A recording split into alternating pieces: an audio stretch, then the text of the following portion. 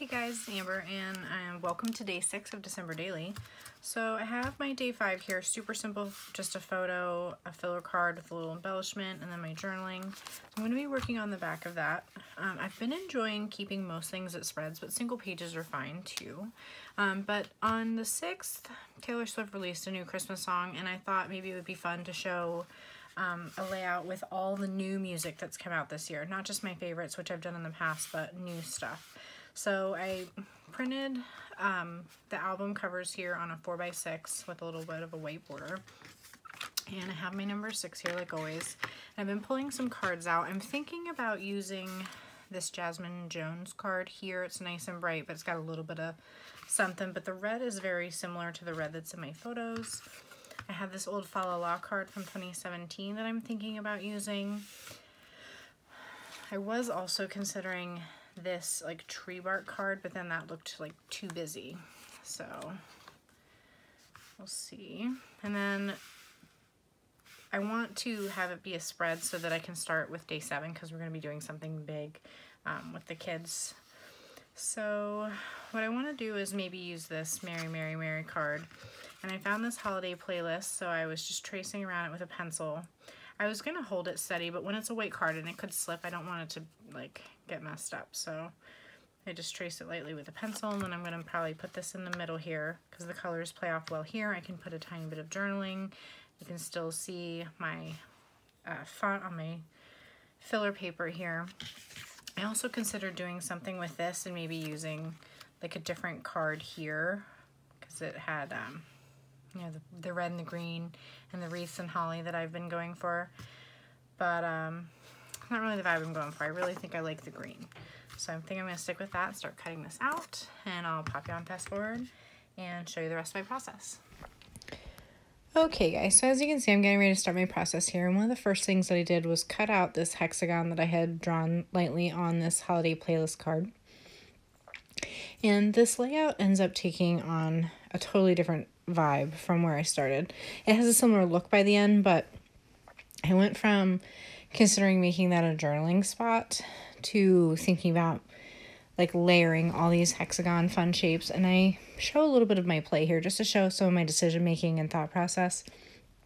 But I actually end up not using any of these. I think like the background was pretty busy and the smaller hexagon shapes were exactly that they were just smaller than that main piece in the middle and I just couldn't find anything that looked right or had a good balance but I played with some of the chipboard from the add-ons, played with that uh, cork hexagon shapes, and I leave them on the backing so that I can just, you know, move them around, play around. But what I ended up deciding to do was create a hexagon flip out like Pam Balmwood did in the Product Play 3 class.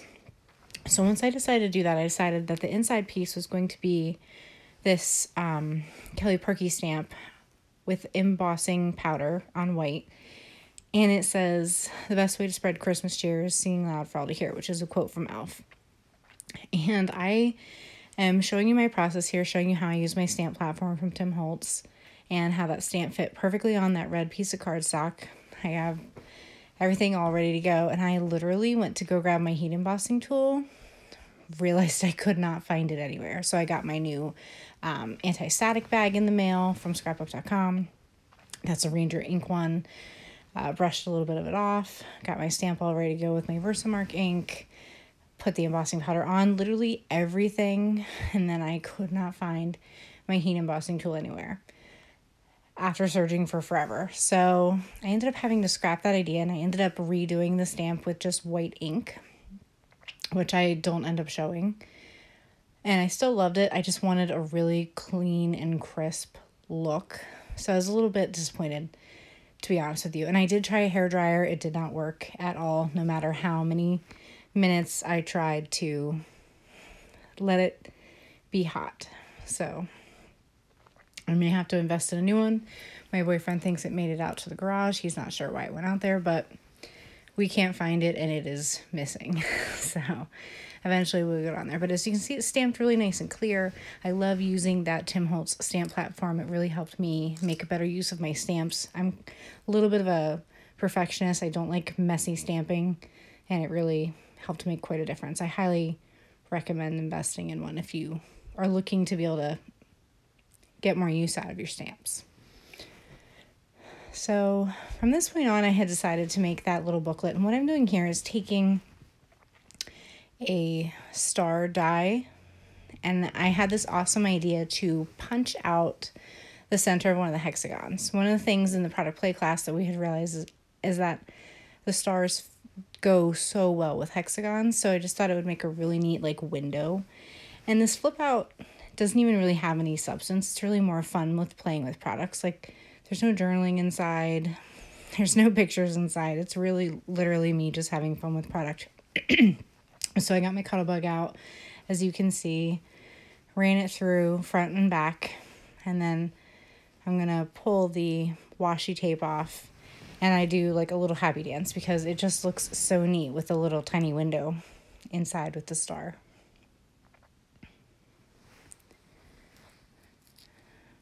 And there's the reveal. Looks super awesome. Really happy. So there I'm testing how it, uh, folds, how everything looks. and then I had printed this out on copy paper uh, from the Ali Edwards Product Play 3 classroom PDF file. And I used the copy paper because I thought it would be easier to fold, but it was a little too thin and you could see adhesive and things. So I was cutting out some extra pieces in white cardstock just to back it, make it look thicker, make it look a little bit more white and less see-through. So I'm just adding that onto the base with some Gina K rolling dot adhesive. And then I'm just going to trim off the edges a little bit there. And on my base, I'm going to use one of the cork hexagons. And then that red piece is one of the red die cuts from the advent calendar that I trimmed down to a hexagon. I've used a couple of those in this. Uh, I punched one round for an ornament. I think I punched one round to fit into a wreath shape. And then I moved one into that hexagon. So uh, just having fun playing with those. They're a really nice bright red that fits everywhere. So here I'm just erasing some pencil lines from my tracing probably. Trying to create all these extra layers. Just attaching that with some rolling dot adhesive. And then I'll be re getting ready to add my cover on here in just a minute, which is that original holiday playlist, holiday playlist card.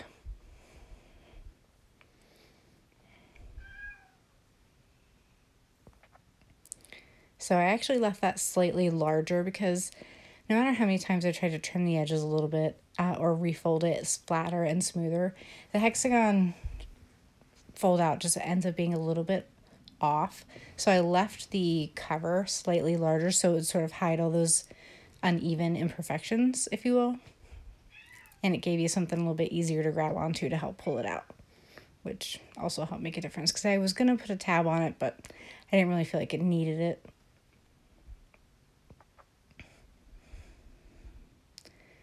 So there I'm just seeing how thick it is. And actually it's pretty thin even with that cork piece on there. So I'm getting ready just to finish up the layout. As simple as it was, I made it a little bit harder than it needed to be. So I'm going to attach it to with red line tape so that it's really secure. And I really like the way it came out because it shows off that pattern paper, which I really love and it's got nice, fun, bright colors, which are going with my red and green theme that I've been trying to run throughout the album as much as I can. and then I've peeled off the backings, and then I'm just getting ready to attach it, just right smack, smack dab in the center.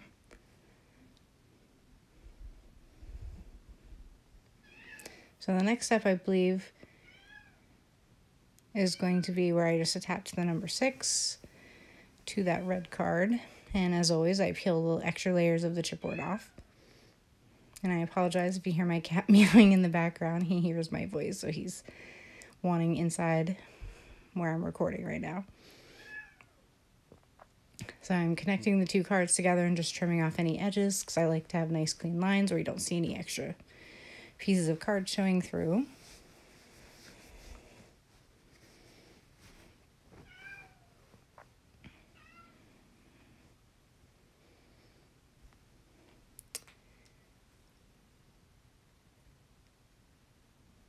And then just trimming off a photo square, adding the adhesive to the six and then placing that down.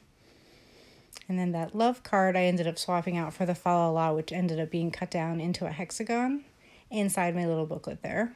And I think that the colors worked really well and it gave me more of a spot for journaling. And it also says, you know, love these things right now or something like that. So I can talk a little bit about my photos. And truth be told, that actually was not how I intended to print those photos. I had printed, meant to print all six two by twos and I was going to cut them out and do a two by two page. And for some reason, my printer printed with the border, so I just left it and thought it looked cool. So just leaving you with some photos here at the end and wanted to say thanks again for watching and hope you found some inspiration to play with your products and combine new and old pieces.